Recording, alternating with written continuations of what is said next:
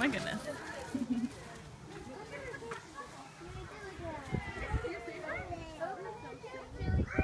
oh, we forgot to light them. Yeah, I was gonna say, why is there no candles in the candles? Yay! You got your present! So Jilly likes all kinds of fruits and veggies, but usually her favorite thing is still her box. um, she also just gets regular Timothy hay. She actually really loves her Timothy hay, even though she gets it all the time. And then the fruits and veggies she gets as a snack occasionally, and that today is carrots and apples.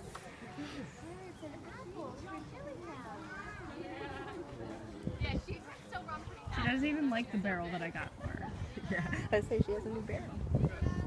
So pretty and white. If you want to. Since you can reach.